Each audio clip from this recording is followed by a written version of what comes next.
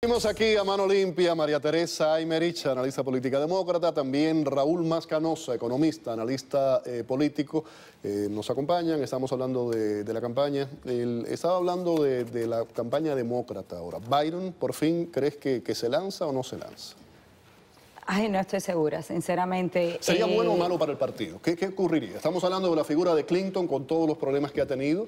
Eh, y, Sanders. Estábamos hablando de Sanders. ¿Se necesita otra figura? Mira, en realidad donde pudiera dividirlo es en las primarias. Ya una vez que esté elegido el, candidato demócrata, lo que importa es las generales y en realidad eh, Biden le, va a quitar a Hillary, no le va a quitar a Sanders, así que Sanders estuviera más fuerte, pero en, en, en las primarias es donde se define, así que eso no va a influir en las en las generales.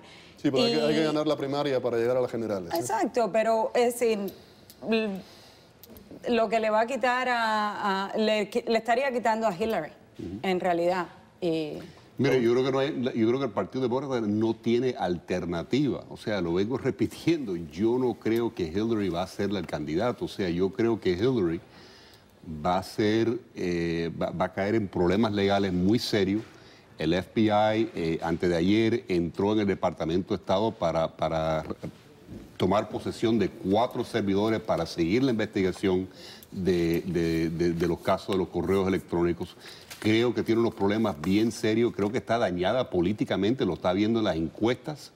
Em, y, no, la veo recibiendo, eh, o sea, si, la postulan como, como, como su candidato y el día de mañana la, la llevan al juicio? O sea, eh, ¿qué, va, ¿qué, va, a hacer el Partido Demócrata? Estábamos hablando, Raúl, anteriormente, antes de ir a la pausa, estábamos hablando de ese, de ese pacto del, del Pacífico. Eh, se dice que involucra aproximadamente 800 millones de personas, más de 200 mil millones de dólares, sería el más grande del mundo.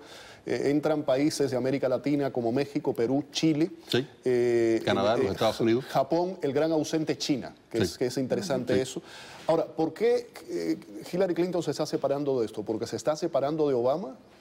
Yo creo Obama lo apoya. Yo creo, o sea, por lo menos lo que están diciendo los, reportes que yo he visto, que la razón por lo cual hace una semana salió en contra del oleoducto del Keystone Pipeline, ¿no? el, el oleoducto Keystone, y ahora está en contra de este tratado, que cuando ella era el secretario del Estado estaba a favor de este tratado, pero ahora en la última versión está diciendo, no, no estoy de acuerdo.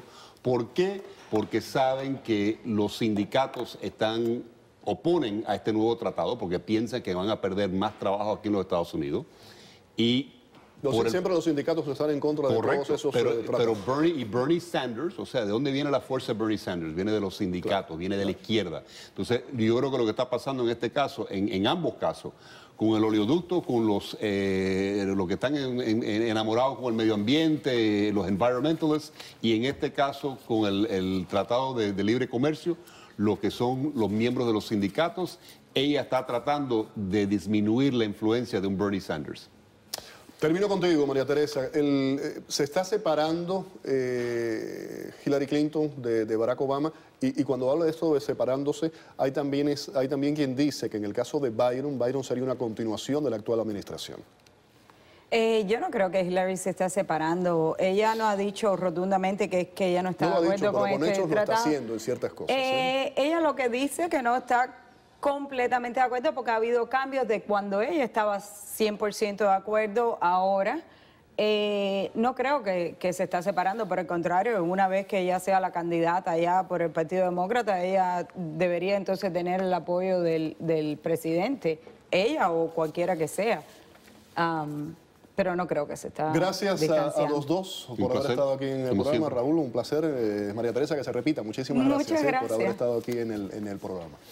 Bueno, eh, para finalizar, eh, voy a hacerlo con una triste información eh, que tuvimos conocimiento en el día de hoy. Un colega falleció, Enrique Gratas. Enrique Gratas, pionero de la televisión en español en Estados Unidos, un comunicador argentino que además tenía un, estilo muy, muy especial, un estilo único, como decía él en, en aquel programa, el estilo único de Ocurrió Así.